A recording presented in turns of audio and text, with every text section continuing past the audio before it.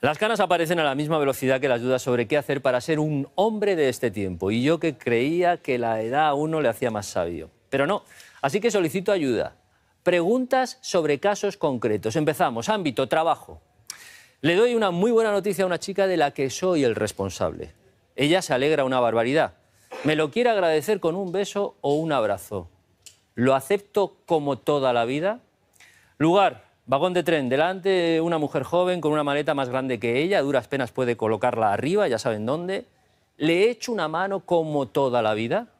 Situación, ascensor, se abre la puerta, solo estamos ella y yo. ¿Dejo que pase primero como toda la vida? Una más, entrega de premios. Uno para un hombre, se le da la mano. Otro para una mujer. ¿Se le da dos besos como toda la vida? Mi educación, mi forma de ser, mi edad, yo qué sé, pues porque soy así me llevan a hacer lo de toda la vida en todos esos casos. Es lo que me sale. No he cambiado aún. Sí hay algo que lo ha hecho, que ya es distinto en mí y en otros muchos. Hace solo unos años ni me habría planteado todas estas preguntas. Algo nos está pasando.